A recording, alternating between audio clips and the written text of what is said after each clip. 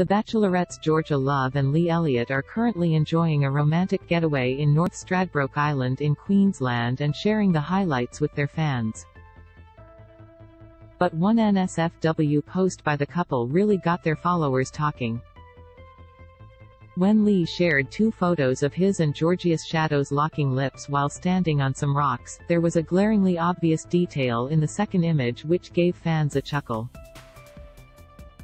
Luckily, Lee noticed it too. Expectation versus reality, he penned in the caption. What can I say, I really love Stradbroke Island. Hashtag get your rocks off.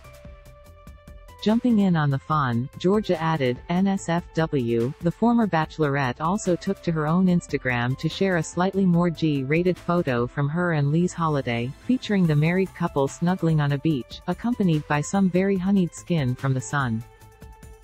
Before you ask, yes we are often at home and yes we do work, Georgia captioned the photo. Watch, Georgia Love and Lee Elliott nail the dirty dancing lift at their wedding reception.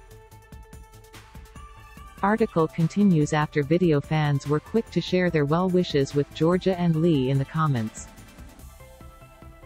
You only live once. Enjoy it. One wrote, you don't need to validate what you do, another added. Haters gonna hate, enjoy, looks amazing, a third commented, after meeting on The Bachelorette in 2016, Georgia and Lee officially tied the knot in March 2021. The pair shared the first snaps from their special day on Instagram, with the bridge penning, It was always you 105. 321, she added her official wedding hashtag, which of course was a very on-brand pun hashtag A Lovely wedding. To find your own fairy tale love story, like Georgia and Lee's, sign up for eHarmony today.